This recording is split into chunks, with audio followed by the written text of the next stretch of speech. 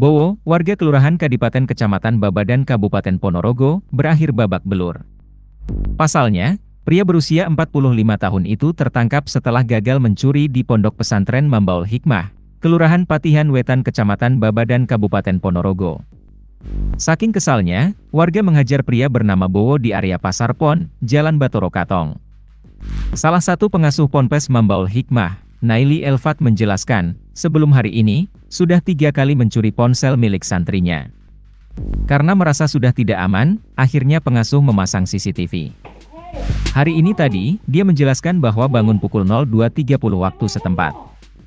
Kemudian pukul 03 waktu setempat, dia ingin membuka rekaman CCTV. Dilihat ada bayangan manusia di CCTV yang ada di dalam rumah. Dia pun share rekaman CCTV ke grup RT, karena di rekaman itu terlihat jelas, wajah, baju dan lain-lain. Bahkan ada warga yang memberi kabar, bahwasanya si maling makan nasi pecel di Pasar Pon. Karena itu warga kesal dan dihajar, kemudian dilaporkan ke Polsek Babadan.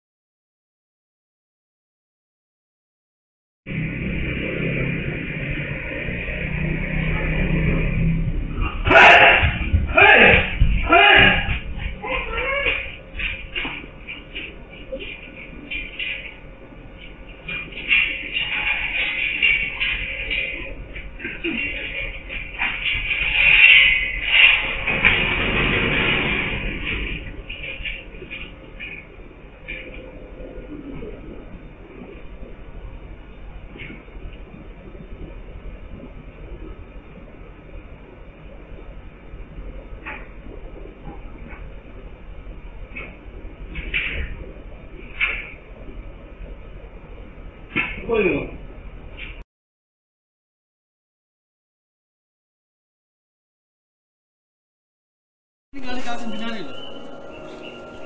Nah, saruni lho iki lho.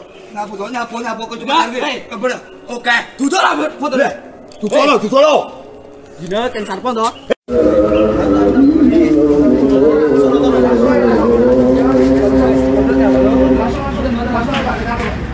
Kantor ya.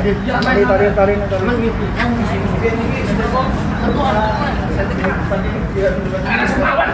Oh iya hak sih ya.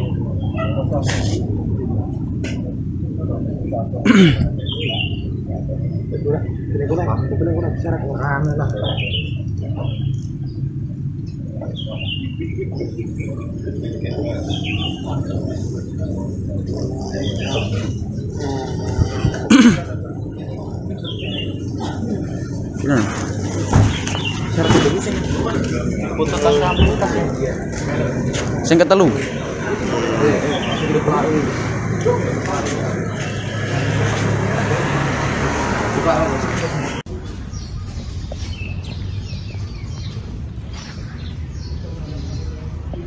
jam berapa ini? 42 lah ini loh ini ngambil cas. Kayak maling aku gitu.